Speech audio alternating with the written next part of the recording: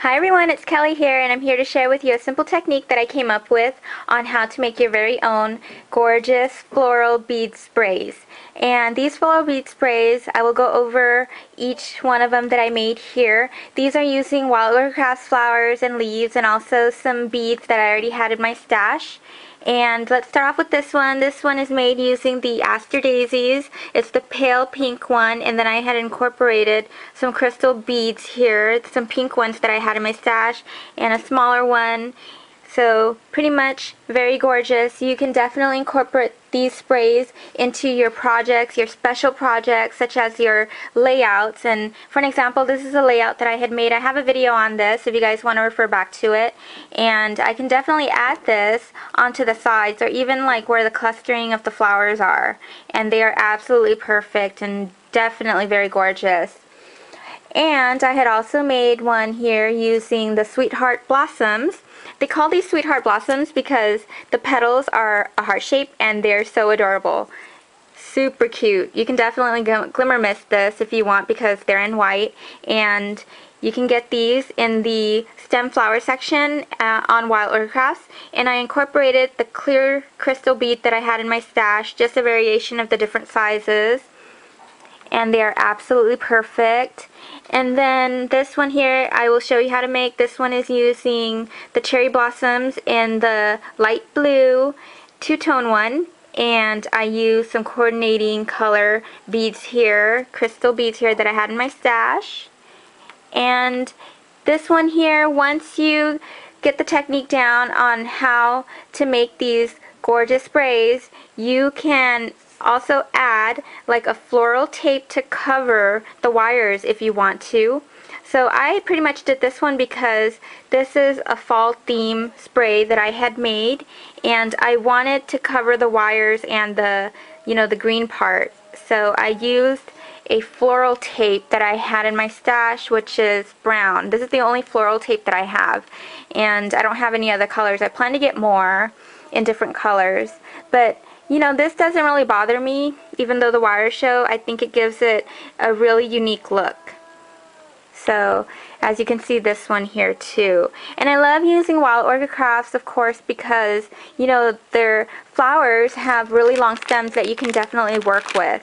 And these are the Aster Daisies. Here's the item number, by the way. It is FS-00110. I will leave the item number of the other ones on the description below. Now, once you get the technique down, you can definitely incorporate different types of beads that you may have, like acrylic beads, even bead caps, you know. For an example, I used a bead cap on this one here.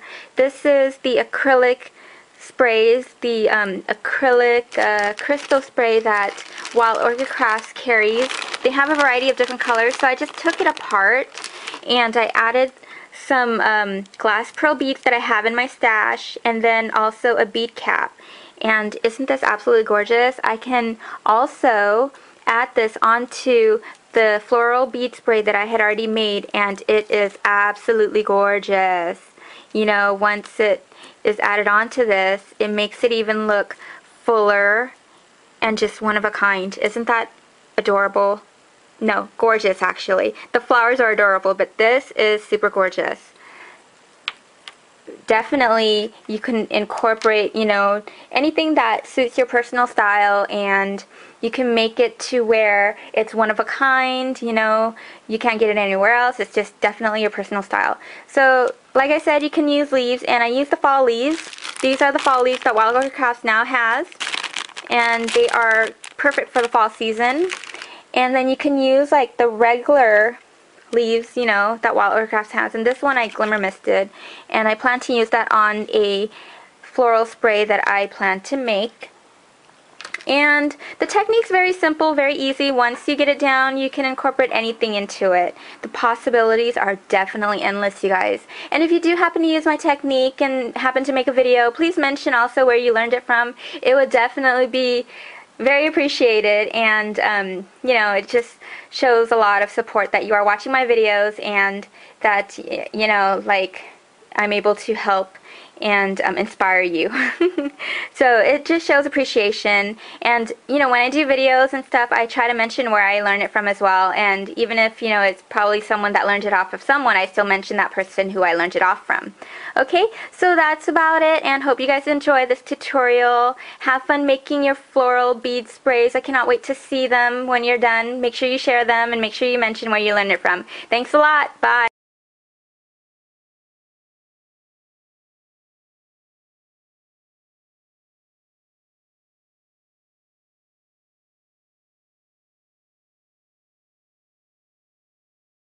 Okay, so what I'm going to do is just take your wire here and probably would need about 12 inches 12 inches of this. So cut out 12 inches. You know it doesn't really matter um, but you just want to make sure you have a good amount because you can always cut it off anyways. And what I'm going to do is I'm going to string my crystal bead here and you're going to make sure that it is right in the middle. Okay just like that. And then you are going to twist this. Like really twist it so it's like completely snugged in there. Just like that. Hopefully you can see that. And it doesn't move around because it's tightly snugged in there. Then you're going to continue twisting it. So this is all you're going to do with that. And then you are going to take your flower here and you're going to arrange it to where it's slightly below your crystal there. And then you're going to just twist it again. So it's tightly in there. very easy. And you're just going to adjust it to where it faces out just like that okay? And then you're just going to put this off aside there and you're going to cut out another 12 inch uh, about 12 inches of the wire and you're going to take your next bead which will be this one, um, I chose the clear one, and it's smaller. And this is just a, a simple technique for making something similar to these. See how I had used a bigger um, crystal bead at the top there? And then when it cascades going down, I use like a smaller one. This one, um, once you get the base of the technique down, this is fairly easy because you just incorporate the floral tape and that can be a little bit difficult but it just requires some practice. So you start off making these first, the easier ones. Okay, so twist it until it's actually tightly snugged in there, your bead. And you're going to take your flower again Make sure that it is right below where your bead is.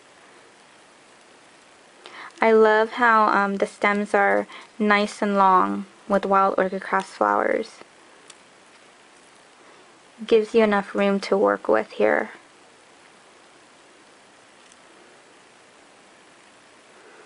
Okay, and if you really want the colors to match with the wire and the stem, you can definitely alcohol ink it I don't know if there's actually green alcohol ink, but there probably is. So it doesn't really bother me because, you know, it's not that big of a deal. So you just arrange it like that and you start twisting this in because I like how this looks already so I'm just going to twist it in here. And see how this part's sticking out? Not a problem at all. You can just take your wire cutter here and then use the tip of it to actually stick it back all the way in so it doesn't poke you and then squeeze that in there. just the tip of your wire cutter because at the part here it cuts it on the further down on, on, on the blade. Okay, so that's looking pretty good here. It's very fast and very easy. So you're going to take more of your wire again and I'm going to go about, let's say 10 inches. About 10 inches. Because the further down you go, the shorter it gets anyway, so you don't really need that. And I'm just going to take my big one here again and twist it so it's tightly snugged in there.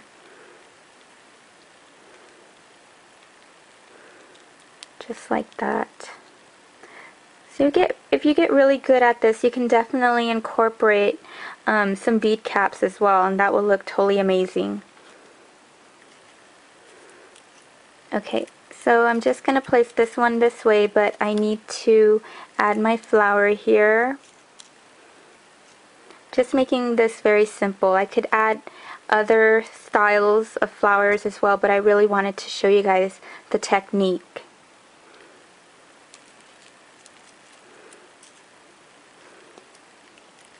So you're just going to add it like that. Really simple.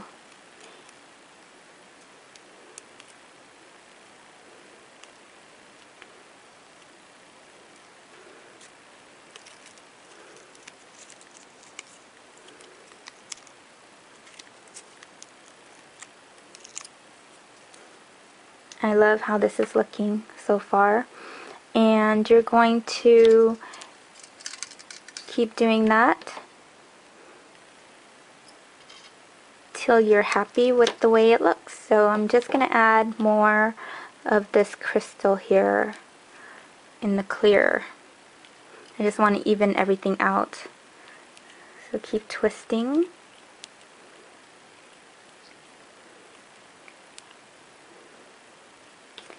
And then I'm going to add my flower again.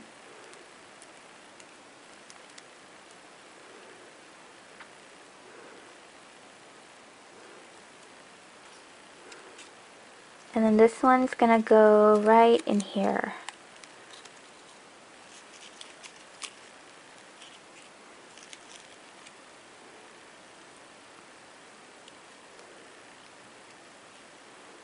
And just like that and then you just kind of arrange it to however you like it. And there you go. Isn't that lovely? Okay so what you're going to do is going to keep making sure that it's twisted and nicely tight together and then to where it's short where um, the last part of it sticks out you could just snip it off just like that using your wire cutter and then um, use your end here to kind of put it together so it doesn't poke you. And there you have it. Very simple quick and easy flower spray. Absolutely gorgeous isn't it?